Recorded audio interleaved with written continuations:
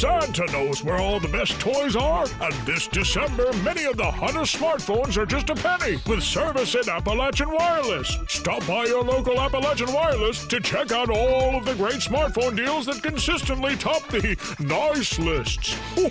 this Christmas is truly going to be bigger and better than ever. Better service, bigger savings, that is.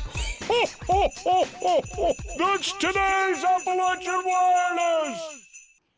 Job positions with the City of Pikeville were made available the same day the city cut the ribbon on what it hopes will create many more jobs at the Kentucky Enterprise Park, formerly known as Marion Branch Industrial Park.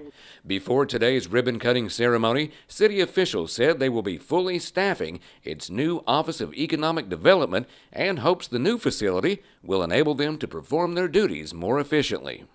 It's going to get us in a position now to where we can focus solely, uh, you know, myself and, and uh, a couple others that would be here, we'll be able to solely focus on economic development and going after those new jobs. So, uh, you know, whether it's traveling to go talk to a, uh, a, company somewhere, an executive, and to convince them that, uh, you know, they need to be located here and to bring those jobs here, uh, that's what we're going to be doing. We're going to be working very hard to bring those new jobs into the region.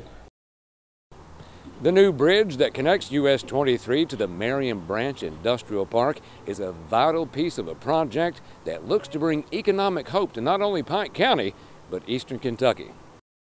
Having direct access to US 23 coming right off uh, the highway uh, was extremely important. We had uh, shown this uh, site to several uh, companies that had interest in looking at eastern Kentucky, and always the number one issue is is that we need access to the uh, the site.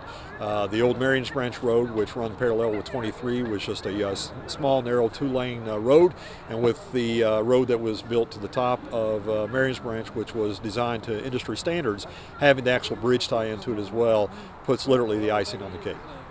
To quote Pikeville City Mayor Jimmy Carter at today's ceremony, the city of Pikeville is now open for business. Reporting from Pikeville for EKB News, I'm Sean Allen.